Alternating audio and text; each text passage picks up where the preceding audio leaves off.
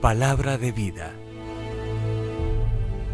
Un mensaje directo, actual y esperanzador para el hoy de tu vida. Palabra de vida. Podrían quemarse todas las Biblias del mundo entero, pero si solo quedara ese capítulo 15 del Evangelio de San Lucas, tendríamos a partir de las llamadas tres parábolas de la misericordia un claro retrato, una clara fotografía de lo que es el corazón de Dios. Hablar de la misericordia es hablar de la quinta esencia de todo el mensaje cristiano la regla de oro por excelencia que nos propone Jesús, una misericordia que más allá de los formalismos y lo cultual, atiende la realidad más profunda del corazón humano. La verdad, la verdad es que el hombre, la humanidad, el mundo nuestro, el del siglo XXI en general, no es misericordioso. Desde niños, en la etapa escolar, conocemos el fenómeno del llamado bullying. Esos ataques, esa falta de misericordia en las relaciones infantiles, a veces de adolescentes, en esa etapa escolar. Pero conocemos también en la vida laboral esa incapacidad para apoyarnos, comprendernos, de alguna manera ser misericordiosos con las fallas, las limitaciones que otro puede tener. Hasta ahí estamos en el plano de lo público, lo escolar, lo laboral.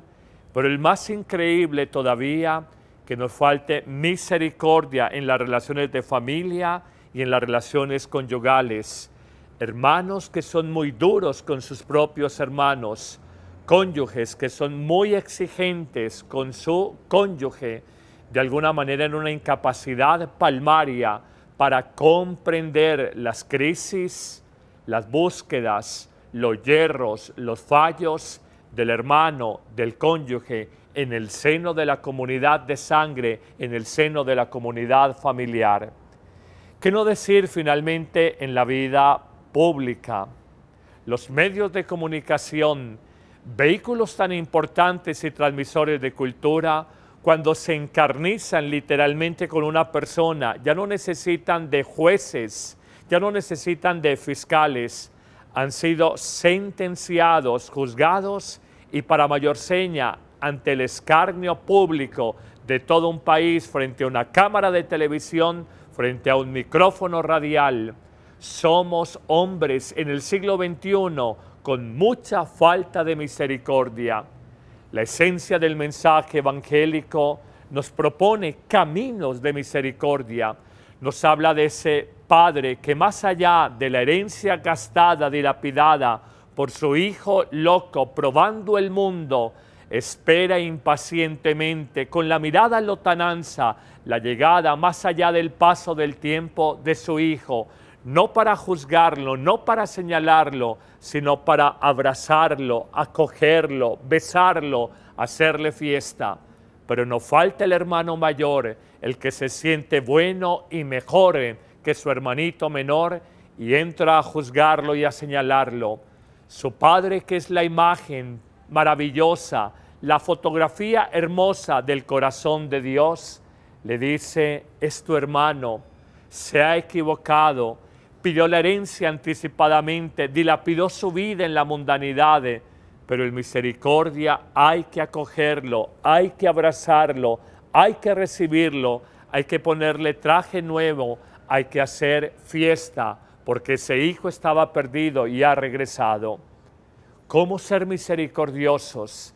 La primera afirmación tendría que ser esta, solo somos tales por gracia, regalo de Dios.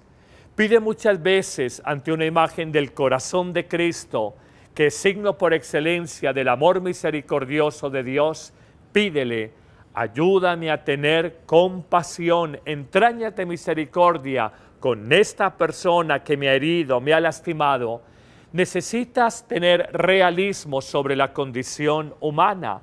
Todos somos quebradizos como el barro, todos nos hemos equivocado Una persona que no sea misericordiosa probablemente en la vida terminará sola porque irá rompiendo sucesivamente sus relaciones humanas con los demás y no perdonará bajo el argumento de que le han fallado.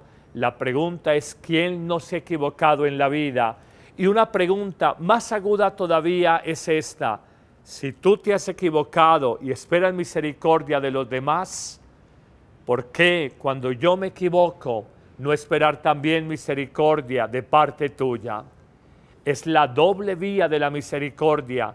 No es solamente la misericordia de Dios para mí, sino la misericordia mía, canal de Dios frente a la falla y la equivocación tuya.